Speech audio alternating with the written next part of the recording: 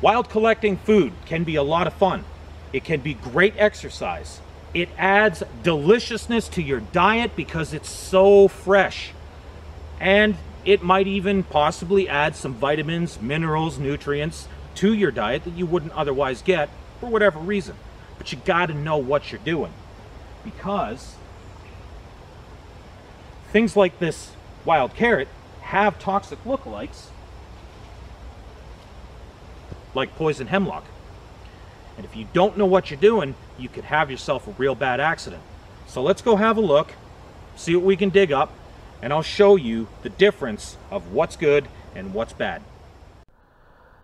Hey guys, it's Dave from Wolf in the Wild Survival, and I have yet another Toxic Lookalikes video for you. Once again, we are dealing with Yarrow. And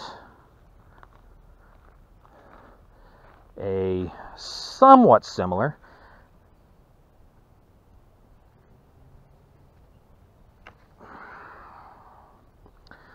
that's wild or that's white snake root now I have a video about both this is a wild medicinal, very, very useful plant to know.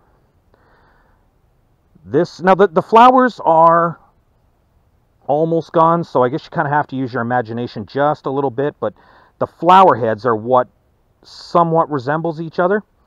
And if you've watched my wild snake root video, you will be aware that this is responsible for the death of Abraham Lincoln's mother. So not a plant that you want to mess around with. However, as you can see, the leaves totally different. The stems both are relatively tough, fibrous, and woody, and the flower heads are somewhat similar. But the leaves is what really, really, really tells you which is which. So, yarrow, wild medicinal, and good for you. Could be edible as well. Wild snake root, not something that you want to mess around with. Bad for you. So, thanks for watching, guys. Hope that helps somebody, and I hope you enjoyed the video.